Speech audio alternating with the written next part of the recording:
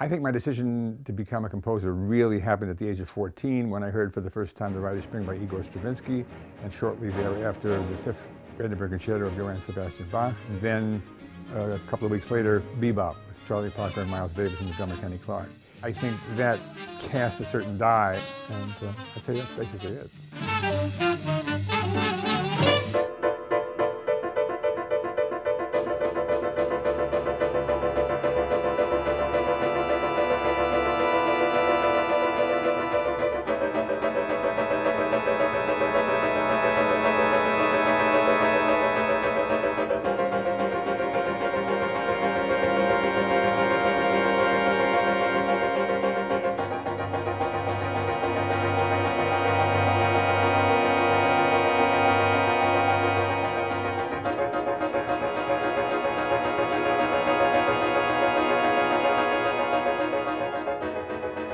It's Gonna Rain, 1965. A friend of mine said, you know, you've got to hear this black Pentecostal preacher in Union Square in San Francisco. I happened to have a portable recorder and a sort of little shotgun mic, and I went down there with him and recorded this guy who was talking about the, who was preaching about the flood, the flood of Noah. One of them of the loops said, "It's going to rain." It turned out at the moment that he said that, a pigeon took off, and you hear this, wah, wah, wah, and if you loop it, you get like a pigeon drummer and this it's gonna rain, it's gonna rain, and a kind of low hum of traffic. And it makes for an amazing loop. And I thought, well, if you had this playing against itself, you could kind of get to the point where you'd have it's gonna, it's gonna, it's gonna, it's gonna rain, rain, rain, rain. So I had two little cheap Wollensak tape recorders most people will never have heard of. They, they were you know, little monophonic machines with a little speaker built in. And I put the two loops, which I tried to make as identical as possible, on each machine and just pushed to go by.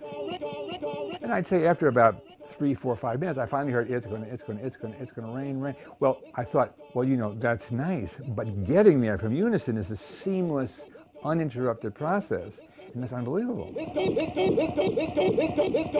And that became It's Gonna Rain, which was, in a sense, for me, opus one.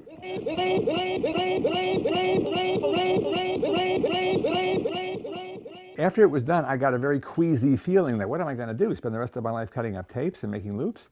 I mean, I want to write live music like I was doing as a student, and uh, as I was doing before I got involved with tape loops. But I felt two things. I felt A, I want to write live music, and B, this process is from machines. It's from tape loops. It, you can get railroad bells at a rail crossing, you know, that will go in and out of phase. You can get windshield wipers on a bus or a car that'll go in and out of phase. But people, can people do that? I made a recording of piano pattern, which is basically between piano phase, and put it on tape recorder. It went round and round and round and round. And I sat down at the keyboard while it was going around, and I said, okay, I'm going to start in unison. I'm going to get just a little, slowly move ahead of that until I get 1 16th note ahead. And that was like sort of opening up the floodgates. Piano Phase, 1967.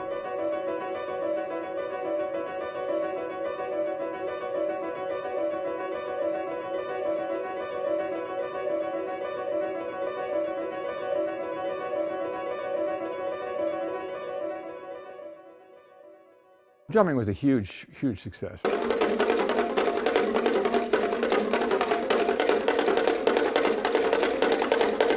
Drumming, 1971. My ensemble presented the world premiere of drumming. We did it at three locations in New York City. And it was a bunch of kids came and people who were going to the museum and some artists. They probably didn't know me from a hole in the ground. And uh, they just reacted naively and just loved the music and really, really uh, expressed that.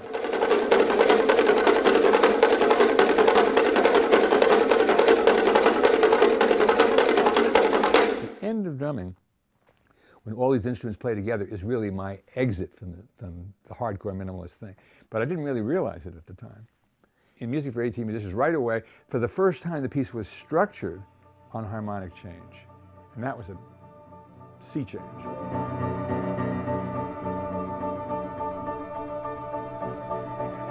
Music for 18 Musicians, 1976. Music for 18 Musicians had a number of, of, innovations in that it had no conductor, it was a large ensemble, it was based harmonically, and it had a very rich orchestration.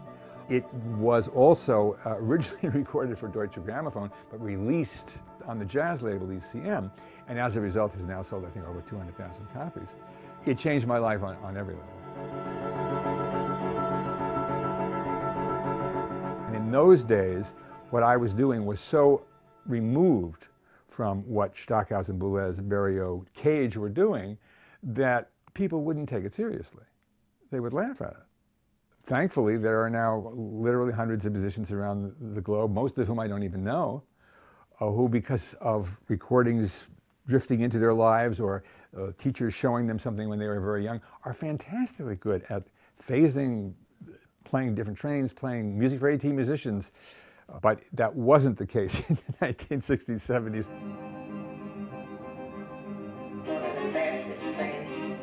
Different Trains, 1988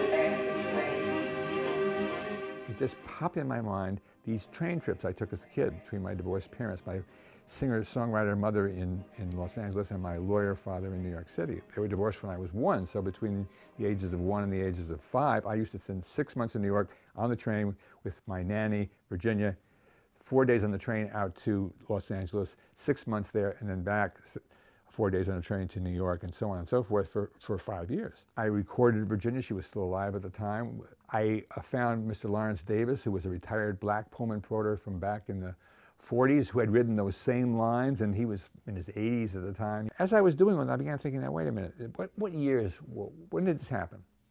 1937, 1938, 1939, 1940. What was going on? Well, what was going on in those years is that Mr. Hitler in Germany was trying to take over the world and getting his hands on any and every Jew he could get and carting them off to first uh, around Munich and then eventually off to Poland.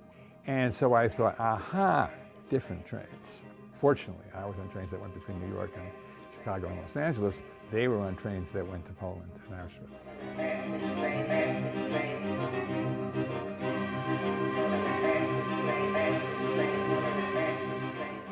I was working with different trains, I, sort of a light bulb went on. I thought, wait a minute, I'm working with audio tape, and you don't see these people who are speaking. But what if you, I was working with a video artist, and you were interviews of these people, and you saw them speaking, and you saw musicians right next to them playing what they said. Hey, there's my opera. I think of Abraham uh, like this. And uh, this led to the commission for the cave. And most importantly, I spoke to Beryl Korot, who is my, my wife and who is I, one of the uh, great video artists we have of our time. The Cave, 1993. It's a polytheistic society. In the early 1990s, doing The Cave was so technologically advanced that we had four huge refrigerators for the synchronization of multiple uh, tape playback uh, because it was a five-screen piece. Beryl did was one of the pioneers of multi-screen video, so this was a multi-screen video installation in a theater. So um, it was quite a deal. I'll show you where later. Abraham ups and leaves. Just leave mother, father, and everybody else and go. Abraham ups and leaves. Since it's going to rain, basically what happens is the plot has gotten thicker and thicker, uh, i.e. from playing you know, one instrument or one tape loop against it, itself to all kinds of instrumental combinations. I think if somebody heard It's Gonna Rain and then they heard annual variations or even Tehillim, they might not think it was the same composer. And I'm, I'm delighted. I think that's great. None of us knows the future, despite what we may think. But my, what I see is that basically the best you can figure out is if, the, if, if a lot of musicians from different areas of music really like what you're doing, and a lot of musicians from different areas want to play what you're doing, then you probably have a chance of, of survival.